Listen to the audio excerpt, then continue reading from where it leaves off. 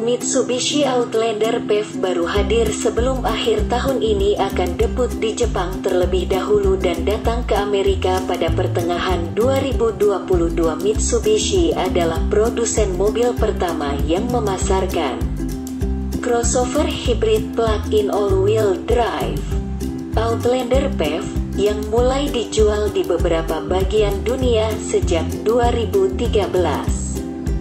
Ini menghantam pasar AS pada 2016 sebagai 2017 model dan baru saja diperbarui untuk tahun 2021 dengan drivetrain listrik yang lebih bertenaga dan baterai yang lebih besar.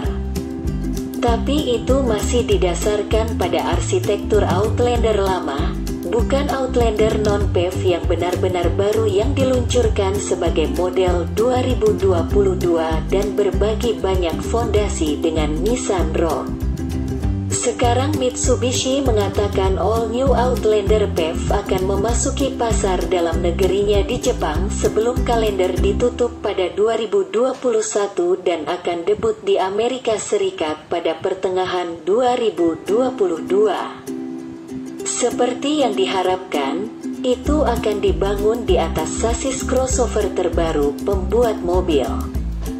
Yang sangat peningkatan platform yang sangat diuntungkan dari kemitraan pembuat mobil dengan Nissan dan Renault. Kami tidak memiliki detail spesifik, tetapi Mitsubishi mengatakan kami dapat mengharapkan peningkatan output motor dan peningkatan kapasitas baterai dibandingkan model saat ini. Itu berarti kinerja jalan yang lebih bertenaga dan jangkauan mengemudi yang lebih luas. Sekompeten Outlander PHEV saat ini.